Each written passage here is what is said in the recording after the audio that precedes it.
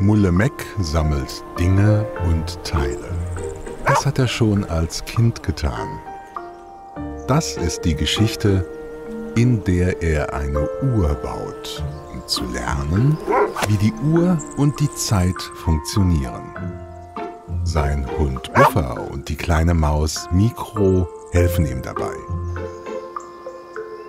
Ein neuer Tag beginnt, wenn die Sonne aufgeht. Was ist ein Tag? Womit verbringen wir unsere Zeit während des Tages? Schauen wir mal nach. Es ist Zeit zum Aufstehen. Wir wollen doch nicht den ganzen Tag verschlafen.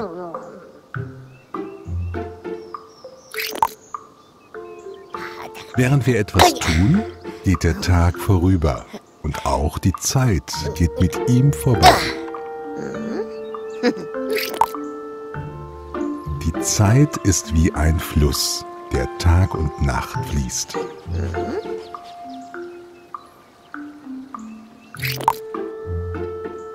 Nun ist es schon Abend.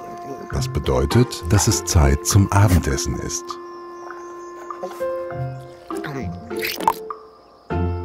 Sogar wenn wir schlafen, bleibt die Zeit nicht stehen.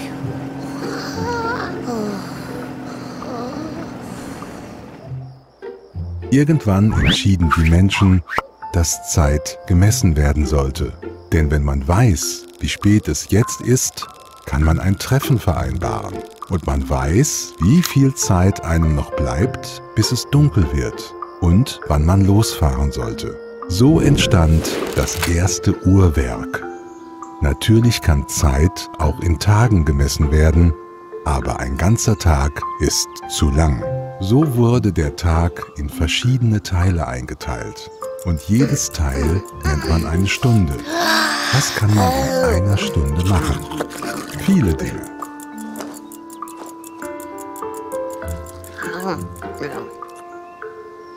Mit der Stunde erschien der Stundenzeiger. Er misst die Zeit, indem er sich ständig bewegt. Versuche, den Pfeil zu drehen und schau, wann die Sonne wieder aufgeht.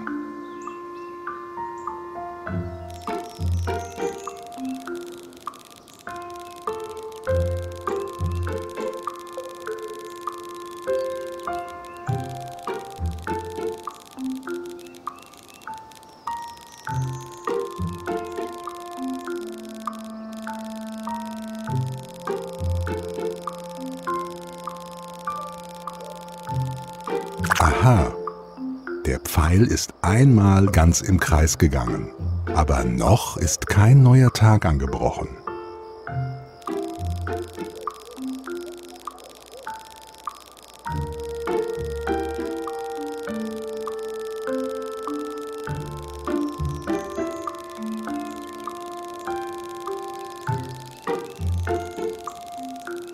Und da ist die Sonne. Also muss der Pfeil zwei Runden drehen, bis ein neuer Tag anbricht. Okay, sammeln wir jetzt eine richtige Uhr zusammen.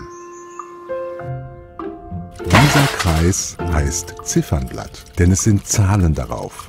Diese Zahlen braucht man, um Stunden zu markieren.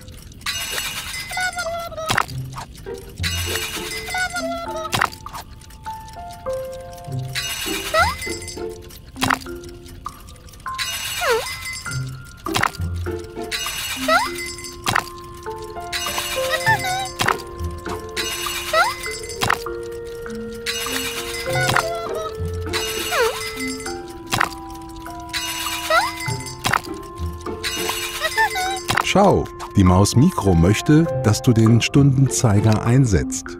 Er zeigt auf eine Zahl auf dem Ziffernblatt und zeigt an, welche Stunde gerade ist. Wohin zeigt der Zeiger jetzt? Großartig. Und jetzt? Genau. Genau so.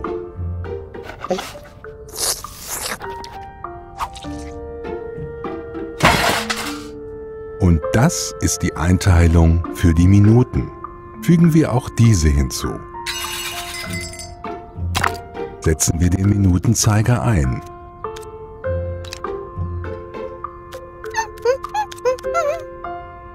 zeigt auf seine eigene Einteilung und der Stundenzeiger zeigt auf die Stundeneinteilung.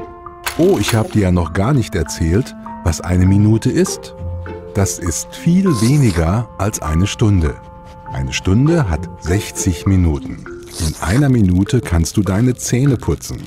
Aber eigentlich ist es besser, wenn du dir drei Minuten lang die Zähne putzt. Versuche, den Minutenzeiger zu bewegen.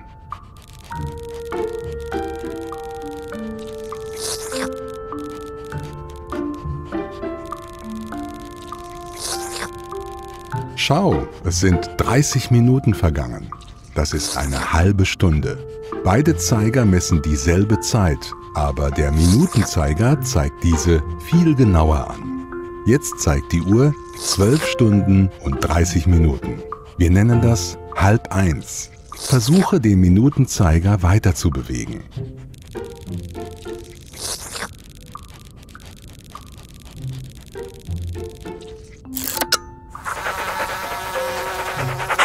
Auf welche Zahl zeigt der Minutenzeiger? Großartig. Und jetzt? Richtig. Genau. Ganz genau. Genau.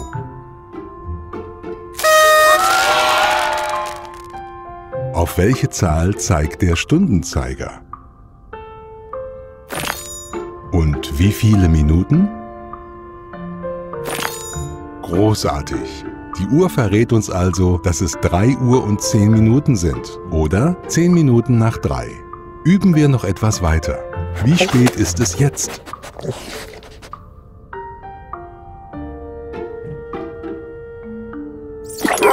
Schau, Buffer gibt dir einen Hinweis. Richtig.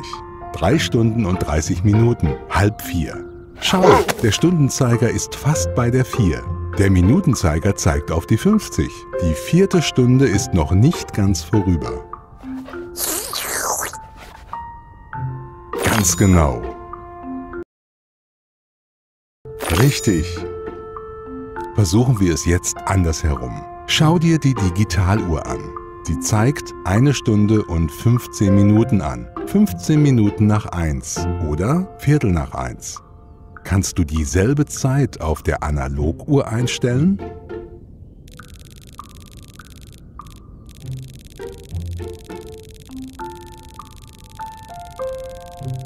Schauen wir uns jetzt die Antwort an. Gute Arbeit! Mal schauen, wie du das machst. Unglaublich! Du hast alles so schnell gelernt. Nun ist es Zeit zum. Und jetzt? Gute Arbeit. Genau.